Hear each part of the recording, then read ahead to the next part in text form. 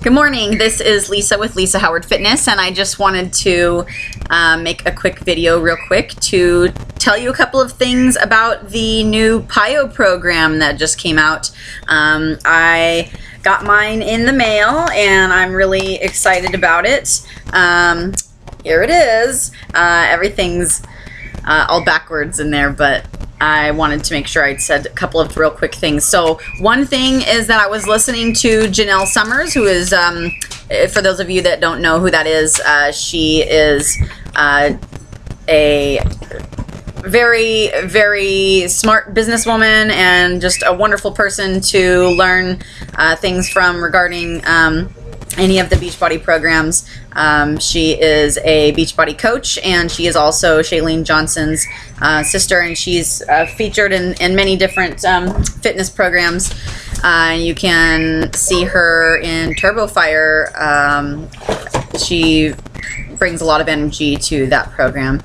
Um, but so PiYo is actually one thing that I just learned yesterday, I guess, is that when it initially started uh, when Chalene created it, it kind of started with um, yoga and Pilates influences, but now uh, she's really trying to emphasize that people understand that it's not just Pilates and yoga, that it is specifically um, a functional strength and flexibility program. So, um, know, this is it's not just Pilates, it's not just yoga. There are a lot of different movements that um, Chalene over the years. This is a this program has been um, for many years has kind of been uh, progressing into uh, a well-rounded, uh, sort of all-inclusive, low-impact program that does still have a lot of cardio. Um,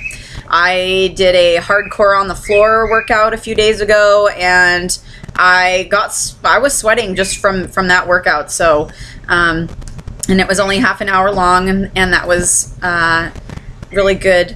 But uh, a couple of things that I wanted to mention about the PiYo that I got was that um, at first when I saw the Get Lean eating plan that came with it, I was I was a little bit disappointed. I expected the nutrition guide to be a little bit bigger, but um, then when I opened it up and looked in it a little bit more, the information that's in there is, is very, very helpful. Uh, I really like that a lot of the foods, um, their macronutrients are discussed in there. So talking about um, carbohydrates and proteins and fats, and specifically, there's some pretty good lists of different types of foods that are in those categories, as well as the serving sizes that are. Um, serving sizes for each of those foods. So I thought that was really helpful so, so that you can see um, how much a serving size is for each food. Um, let's see. Oh, I also wanted to mention that the um, calendars that come, the workout calendars that come with each program, um, though they are you can certainly follow those day by day if you're a beginner. That might be helpful for you to just stick with the actual calendar that comes with the program.